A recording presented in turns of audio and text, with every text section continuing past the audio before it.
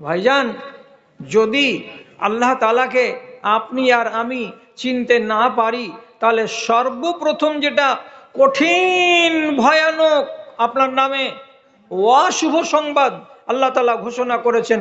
আপনি মানতে পারবেন কথাটা? আজকে দুই চোখওয়ালা মানুষ আপনি যাহা ইচ্ছা তাহা করছেন, যাহা ইচ্ছা তাহা দেখছেন, যাহা যেখানে ইচ্ছা সেখানে চলে যাচ্ছেন, কোনো অসুবিধা হয় না।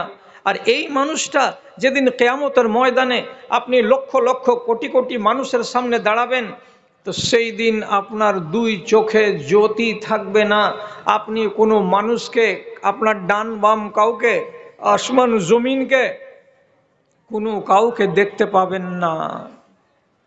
কোরআনে আল্লাহ তালা বলছেন, স্পষ্ট করে ওমান আরাজান জিক্রি ফাইনালাহু মাইসাতান জানকা যে মানুষ আমার ধ্যান ধারণাকে সমূলে ভুলিয়ে দিয়ে নিজের মতো করে জীবন কাটাবে। সে মানুষটা এই পার্থিব দুনিয়ায় সুখী হতে পারবে না। সব সময় হাই হাই করে অশান্তির জীবন গত করবে এবং কেয়ামতের দিন যখন লক্ষ লক্ষ মানুষের সারিতে দাঁড়াবে, সেই দিন আমি আল্লাহ তার দুই চোখে জ্যোতি রাখব না। তাকে কানা করে, অন্ধ করে হাসরের ময়দানে খাড়ো করা হবে। আপনি তো কানা মানুষের মতন হাতড়াবেন আর চিৎকার করে করে বলবেন পরবর দিগার আমার বাড়ি তো বেনিয়া গ্রামে, আমার তো দুটা চোখ ছিল, আমি তো লিখতে জানতাম, আমি তো পড়তে জানতাম, আমি তো একটা শিক্ষিত মানুষ, আর আজকে হাসরের ময়দানে এলাম, তো আমার এই পার্টসটা অকেজো কেন, আমি দেখতে কেন পাই না? কি ব্যাপার? আমার চোখে জ্যোতি নেই কেন? আল্লাহ তালা জবাব দিয়ে বলবেন, আজকে জানিয়েই দিয়েছেন আপনাকে। কি বলেছেন? কাজালেকা আতৎকা আয়াতনা ফানাসিতাহা কাজালেকা লিয়াউমা তুনসা। তোমাকে কেয়াম, দুনিয়াতে যতদিন বাঁচিয়ে রেখেছিলাম, ততদিন আমি আকাশের উপরে আছি আল্লাহ।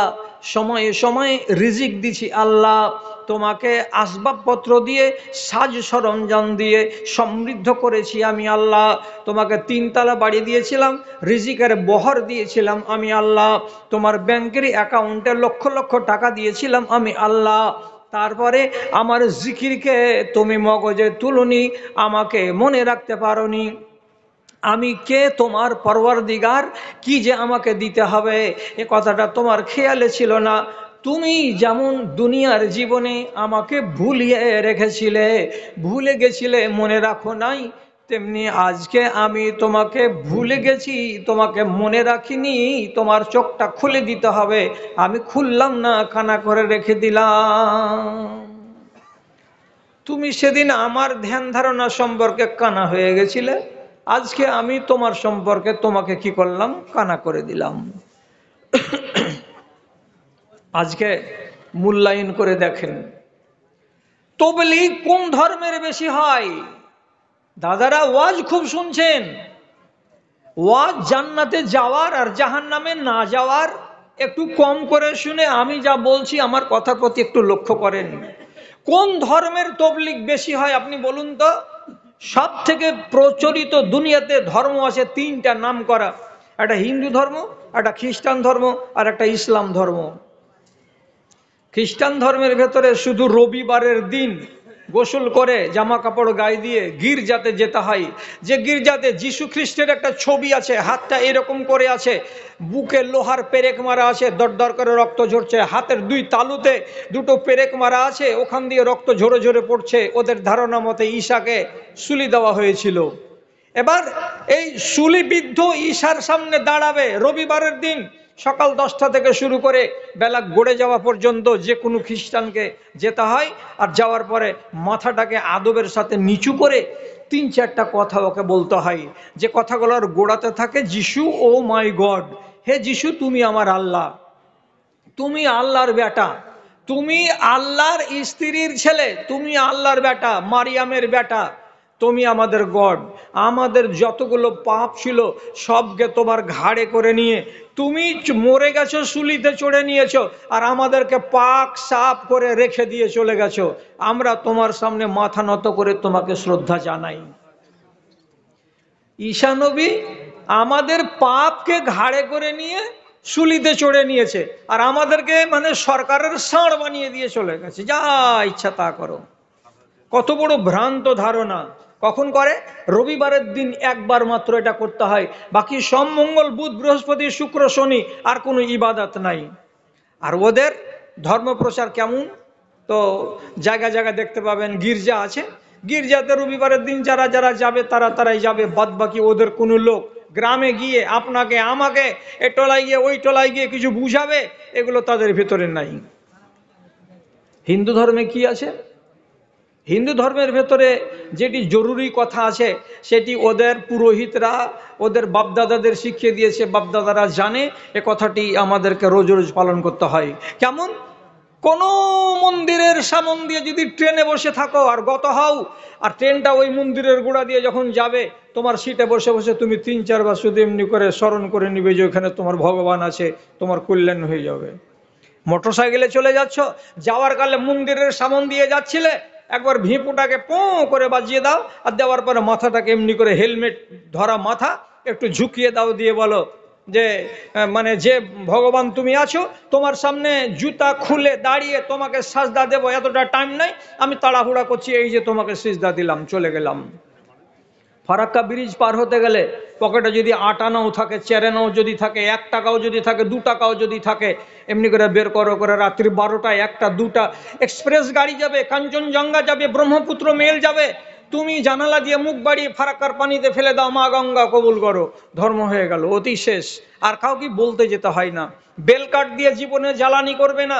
বেল গাছের গাছটা হলো পবিত্র। এই বেলের পাতা দিয়ে আমরা অর্ঘ্য দান করি। ফুল যদি না মিলে তাহলে গঙ্গার পানি হলো পাক, ওটা হলো মায়ের জাত। ওখানে আমাকে বিসর্জন দিতে হবে। আমাকে যদি বিসর্জন না দেয়, তো যেখানেই পুড়াক না কেন আমার ছাইগুলোকে নিয়ে গিয়ে কেউ না কেউ গঙ্গাতে দিয়েই দিয়ে বলবে, মা গঙ্গা, তোমার এই বান্দার অস্থিকে এখানে তোমাকে জমা দিয়ে গেলাম।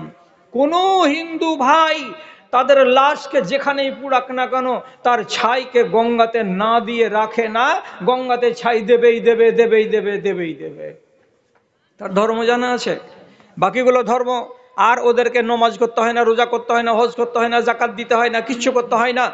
দশমীর দিন শুধু প্যান্ডেল প্যান্ডেল দেখে বেড়াও। এটা কেমন প্যান্ডেল হয়েছে? দারুণ হয়েছে। ওটা কেমন প্যান্ডেল হয়েছে? মোটামুটি হয়েছে। এটা কেমন হয়েছে? এটা ফার্স্ট ক্লাস এটা। এটা কেমন হয়েছে? হাই ক্যাটাগরির হয়েছে। কি চাইলা ভগবানের কাছে? ওগুলো কিচ্ছু নেই। যাও, যাওয়ার পরে মাথাটা এমনি করো, বাস, তোমার ইবাদত শেষ। তাহলে ওদেরও তবলিগ নাই। আর মুসলমানের ধর্মের ভেতরে পিসাব করার নীতি লেখা আছে হাদিসের পাতায়। বলুন হ্যাঁ না না বলুন, কথা বলুন হ্যাঁ না না লেখা আছে? আছে। আপনি শুবেন কোন দিকে মাথা করে আর কোন দিকে পা করে? হাদিসে লেখা আছে না নাই? হ্যাঁ বলুন না না বলুন, লেখা আছে? লেখা আছে। আপনার শুয়ার নীতি লেখা আছে কোরআনে, আপনার পিসাবের নীতি লেখা আছে কোরআনে, আপনার পায়খানা করার নীতি লেখা আছে কোরআনে, আপনার খাওয়ার নীতি লেখা আছে কোরআনে, হাদিসে আপনার বিবাহ করার নীতি লেখা আছে হাদিসে, আপনার ব্যবসা বাণিজ্য কোনটা হালাল, কোনটা হারাম তা লেখা আছে হাদিসের পাতায়, আপনি কোনটা কাপড় পরবেন, কোনটা কাপড় পরবেন না তা লেখা আছে হাদিসের পাতায়, কোন নারীকে বিয়ে করা চলবে আর কোন নারীকে বিয়ে করা চলবে না সে কথা লেখা আছে হাদিসের পাতায়। তাহলে মুসলমানদেরকে তাদের পা মাথা থেকে শুরু করে পা পর্যন্ত, আদি আর অন্ত, সমস্ত খুঁটিনাটি আল্লাহ রব্বুল আলমিন লিখে রেখেছেন।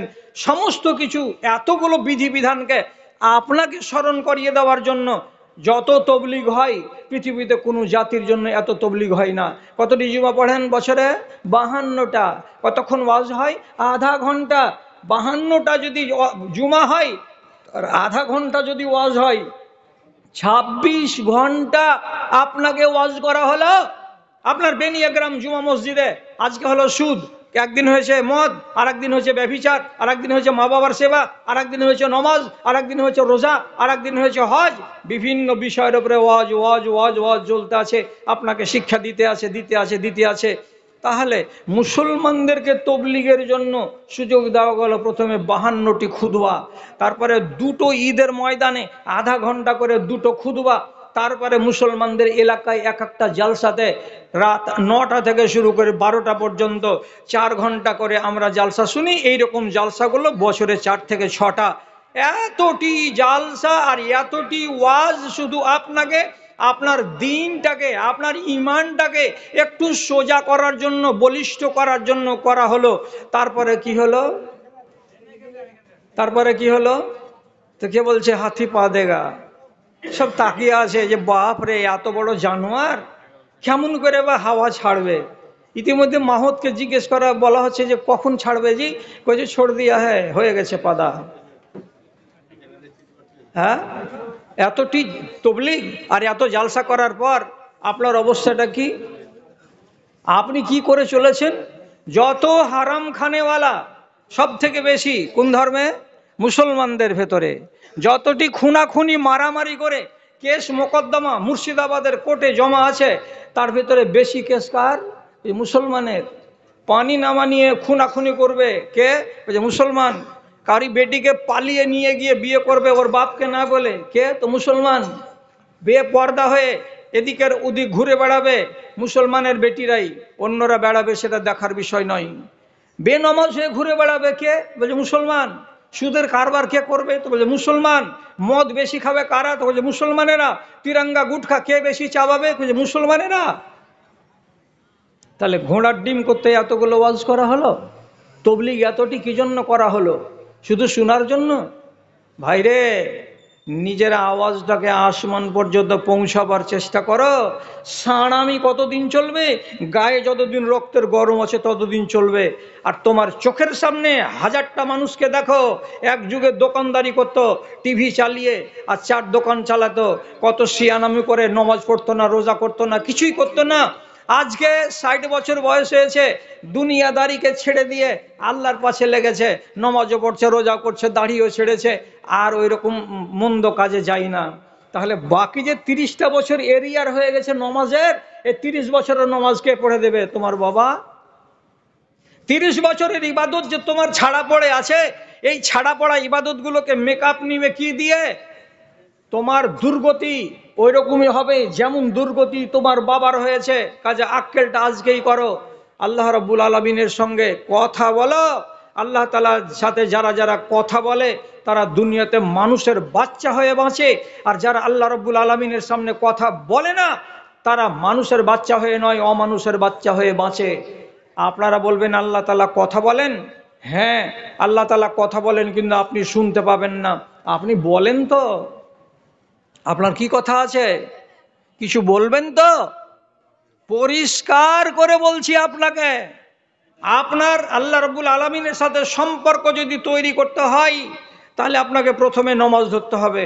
নমাজ না পড়তে গেলে, কোনো সিম না থাকতে গেলে, মোবাইল যেমন বাজবে না, তেমনি নমাজ না থাকতে গেলে আল্লাহ রব্বুল আলমিনের সঙ্গে কন্ট্যাক্ট হবে না।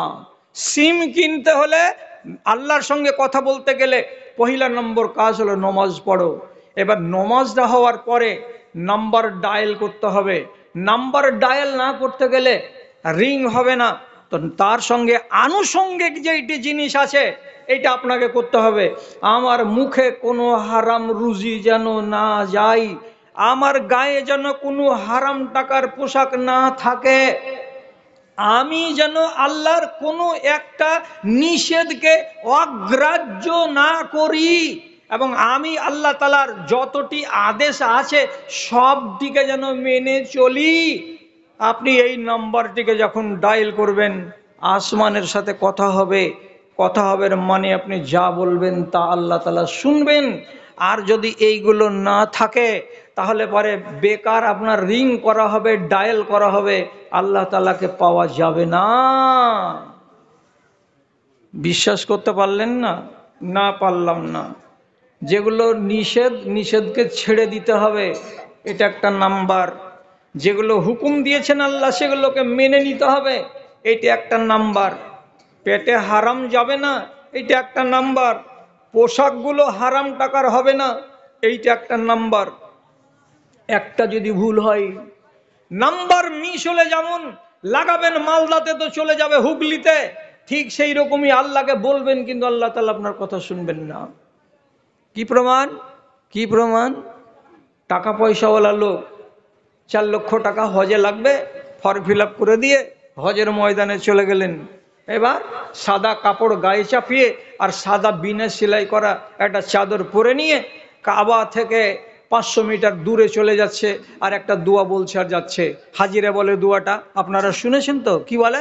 লব্বেক আল্লাহ লব্বেক লব্বাইক লা শারিকা লাক লব্বাইক ইন্নাল হামদা ওয়ান নি'মাতা লাকা ওয়াল মুলকু, লা এর খোলাসা কথা হলো এই, হে আসমানের মালিক, পরওয়ারদিগারে আলাম, আমি তোমার দরবারে হাজির হয়ে গেছি, আমি তোমার দরবারে হাজির হয়ে গেছি আমার কিছু দাবি দাওয়া আছে, আমার কিছু পাওনা আছে, তোমার কাছ থেকে নিব আর নেওয়ার পরে আমি বাড়ি বেনিয়াগ্রাম ফিরে যাব। তার জন্য আমি হাজির, লাব্বায়েক মানে আমি হাজির আমি হাজির আমি হাজির। আল্লাহ তালা আসমান থেকে জবাব দিয়ে বলেন, ওরে বান্দা, ভালো কথা ভালো কথা। সাদা কাপড় গায়ে দিয়ে আসিস আর সাদা কাপড় পরিধান করে আসিস। সিলাই করিসনি। আমার নাবি বলেছেন, সিলাই করা চলবে না বলে। আর তারপরে বলছিস লাভবায়ক লাভবায়ক আমি হাজির আমি হাজির। কিন্তু শুনে রে, মালবাসোকা হারামুন, মাতামোকা হারামুন। যেই টাকাগুলোকে দিয়ে টিকিট কেটেছিলি প্লেনের, যেই টাকাগুলোকে হজ কমিটিতে জমা করেছিলি, সেই টাকাগুলোতে তোর হারামের টাকা ঢুকে আছে। যেই খানা খেয়েছিস আর খাওয়ার পরে রক্ত মাংস তৈরি করে এখান পর্যন্ত এসেছিস, ওই হারাম রক্ত আর হারাম মাংস গায়ে লাগিয়ে আর হারাম টাকার কাপড় গায়ে পরে আমাকে বলবি, হাজির আল্লাহ হাজির আল্লাহ, লাব্বায়ক আমি হাজির আল্লাহ আল্লাহ আমি কিন্তু তোমার জন্য হাজির নই, লা লাব্বায়ক ওলা সাদায়ক। আমি তোমার জন্য হাজির নই, আমি তোমার জন্য হাজির নই। যতদিন পর্যন্ত তোমার পেটের খানা হালাল না হবে, যতদিন পর্যন্ত তোমার পরনের কাপড় হালাল টাকার না হবে, ততদিন পর্যন্ত হাজার বার করে লাভবাইক লাভবাইক করো। তুমি আমাকে পাবে না, আমি তোমার কাছে হাজির হতে যাব না।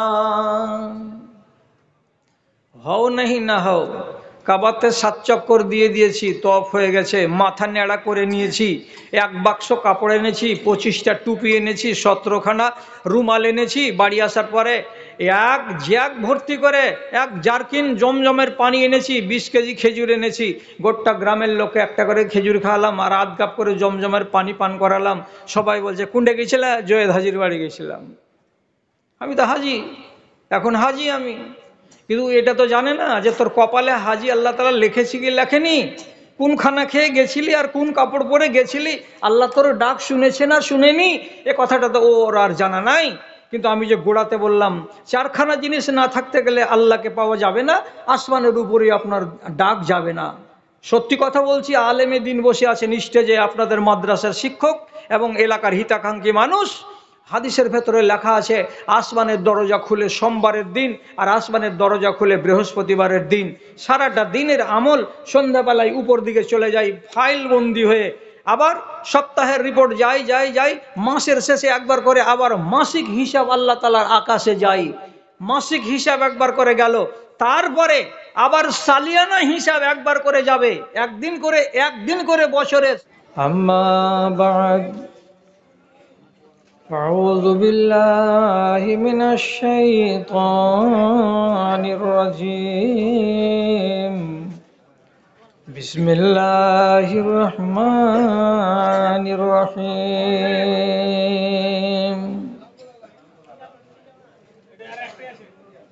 ولا تكونوا كالذين نسوا الله فأنساهم أنفسهم. أولئك هم الفاسقون. وقال الله تبارك وتعالى ومن عرض عن ذكري فإن له معيشة زنكا ونحشره يوم القيامة أعمى.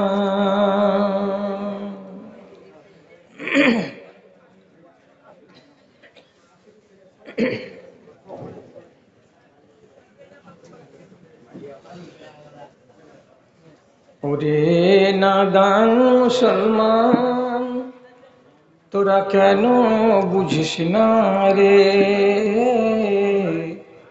খোদার রশি শক্ত হাতে কেন ধরিস না রে? তোরা কেন ধরিস না রে? দুদিনের দুনিয়াতে কিসের বাহাদুরি? ছেড়ে দে রে শয়তানি, তোর হাতে পায়ে ধরি, ও তোর হাতে পায়ে ধরি।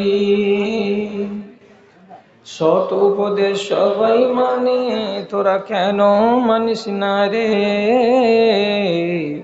ওরে নাদান মুসলমান, তোরা কেন বুঝিস না রে? মাস গেল, তোর বছর গেল, আর কি আছে বাকি? সবাই তোরা বল না, এসে নামাজ ধরেছি, আমরা রোজা ধরেছি। খোদা তোদের রহম করে, কেন কিছুই বলিস না রে? ওরে নাদান মুসলমান, তোরা কেন বুঝিস না রে? খোদার রশি শক্ত হাতে কেন ধরিস না রে? তোরা কেন ধরিস না রে?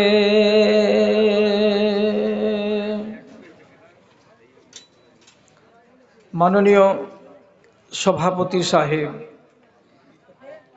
সমবেত এই গ্রামের এ প্রান্ত ও প্রান্ত থেকে তথা পার্শ্ববর্তী অন্যান্য গ্রাম থেকে মাদ্রাসার দরদ, মোহাব্বত, ভালোবাসাকে বুকে নিয়ে এবং ইমানি জজবাকে সাথে নিয়ে উপস্থিত আমার সকল শ্রেণির ভাই ও বন্ধুগণ তথা মজলিস থেকে আড়ালে, অনতি দূরে, স্ক্রিনের সামনে বসে থাকা আমার স্নেহের মা ও ভগ্নীগণ। আল্লাহর শুক্রিয়া আদায় করি যে আজ আপনাদের মতো মানুষগুলোর সামনাসামনি হয়ে দুটো কথা বলার আমি সুযোগ পেয়েছি।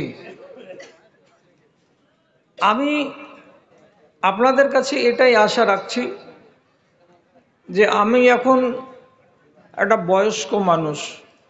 কাজে আমার ভেতরে আবেগ, উচ্ছ্বাস দেখতে পাওয়া যাবে না। আমি খুব ছোট ছোট শব্দে মৃদু কণ্ঠে টিপ টিপ টিপ টিপ করে কিছু কথা আপনাদেরকে শোনাব। কথাগুলোর প্রতি সুবিচার করবেন, মন দিয়ে শুনবেন, হৃদয়ে ঠাঁই দেবেন, এইটা আমার আপনাদের কাছে আশা। সেগুলো যদি এমন কেন করছে গো?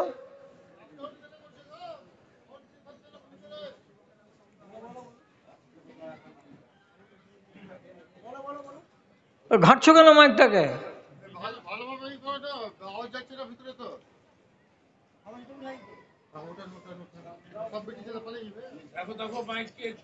হ্যাঁ তো যাই হোক, কথাগুলোর প্রতি সুবিচার করবেন এবং ভালো বলে যদি আপনার মন ফয়সলা দেয়, তাহলে সেগুলোকে আপনার জীবনে প্রতিফলিত করার চেষ্টা করবেন আমি একটা আয়াত পড়েছি আপনাদের সামনে। তো তার গোড়াতেই বলি কথা যে বাংলাতে একটা প্রবাদ আছে, মানলে জড়ি আর না মানলে বনের খড়ি।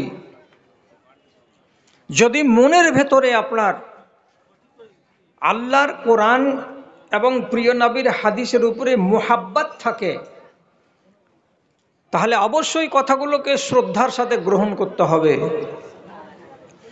আল্লাহ তাআলা বলছেন, এই মানুষেরা, তোমরা এইরকম হয়েও না।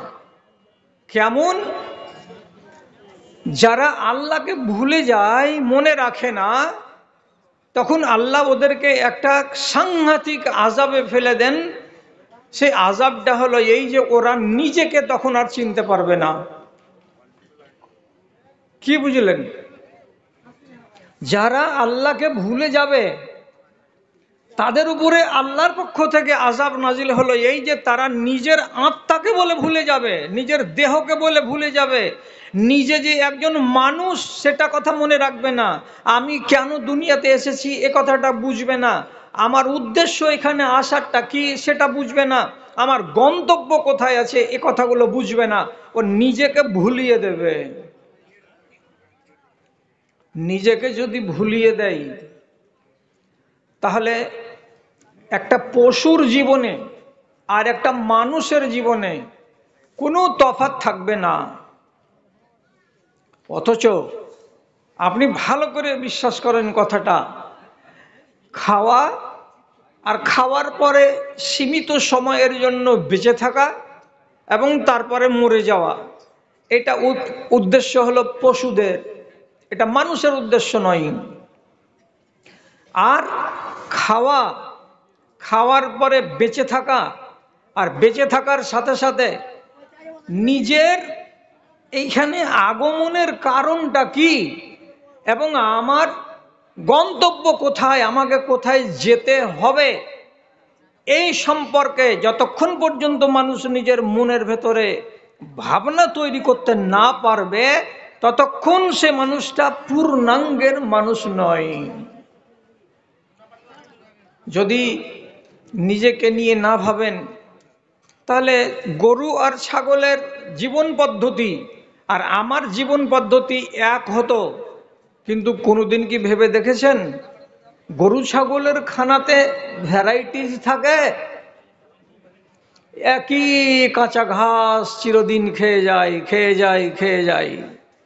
কোনোদিন লবণ বেশি হলো, ঝাল বেশি হয়ে গেল, বা লবণ হলো না, বা টেস্ট লাগে না, এইরকম অভিযোগ কাউরি কাছে ওরা জীবনে করেছে? ওরা জীবনে করেনি।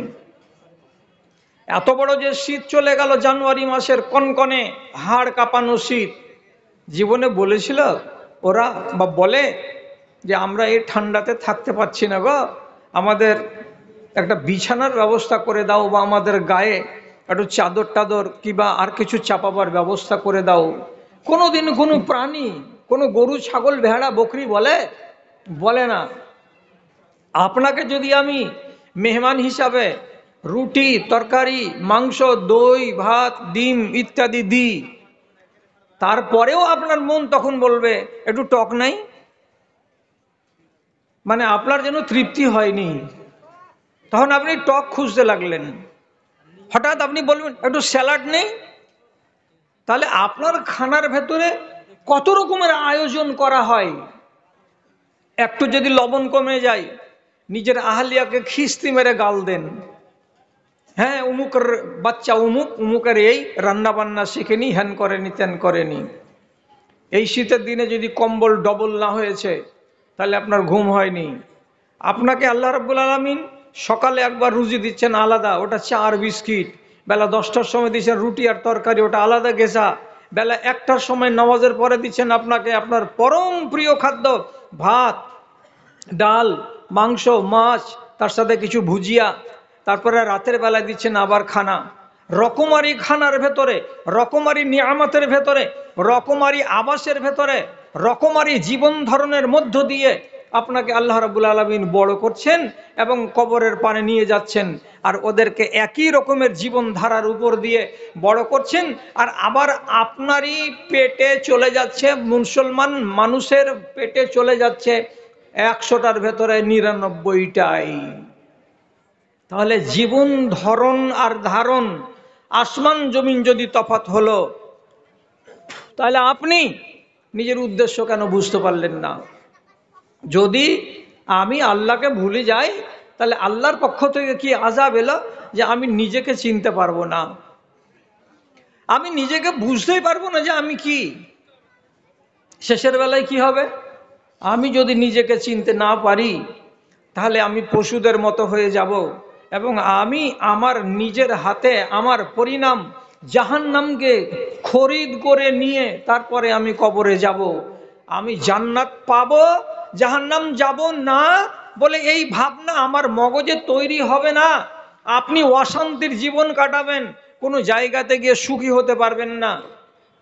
আট ইঞ্চি মোটা তোষকে শুয়ে আছেন ফার্স্ট ক্লাস চাইনিজ চাদর বিছিয়ে রেখেছেন, সুখ নেই। ব্যাংকের পাসবুকে লক্ষ লক্ষ টাকা আছে, কোথা থেকে টাকা আসছে, কোথায় আবার টাকা পাঠাচ্ছেন, দিবা রাত্রি আপনার হাজার হাজার টাকা চেকের মারফতে যাচ্ছে আর আসছে। মনের ভেতরে সুখ নেই। বাড়িতে বেসিন লাগিয়ে রেখেছেন, হাই ফাই ঝর্ণা বসিয়ে রেখেছেন, টাইলস দেওয়া বাড়ি রেখেছেন, কিন্তু সুখ নেই বাড়ির ভেতরে। কিসের জন্য সুখ নেই? নিজের নফসকে চিনতে পারছেন না। কেন নিজের নাফসকে চিনতে পারছেন না? যেহেতু আমি আল্লাহকে চিনতে পারি না। আল্লাহকে যদি চিনতে পারি, তাহলে নিজের নফসকে আমি চিনতে পারব। আর তাহলে এই আজাব থেকে আল্লাহ তালা আমাকে বাঁচাবেন।